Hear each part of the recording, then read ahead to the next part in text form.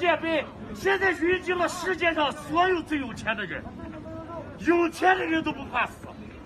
你把我们这些最底层、最穷的老百姓关到这，说问说怕我们死掉？啊？我们不怕死。怎么了？贫富？我想问一下，前两天前两天发生的火灾，你们辛不辛苦？你们作为普通老百姓的父官，你们辛不辛苦？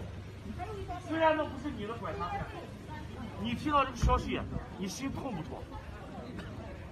一个三岁的小孩，在走之前一个月只吃萝卜，连走了都没能吃顿好饭。这是谁所作所为？这是谁的所作？政府，政府，你不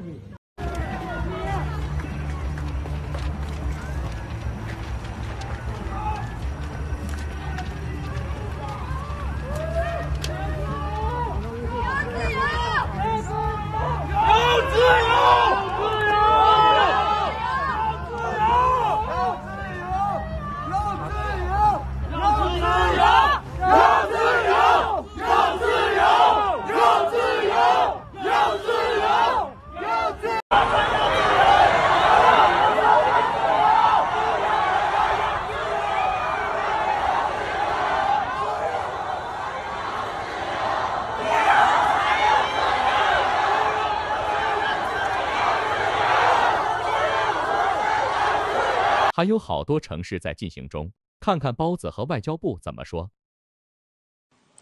现在中国人民已经组织起来了，是惹不得的，如果惹翻了，是不好办的。美国有一首家喻户晓的歌曲，叫《答案在风中飘》，歌词这样写道：一个人要转头多少次？还假装视而不见。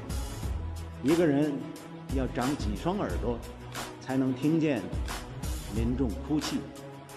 还要牺牲多少生命，他才知道太多人已经死去？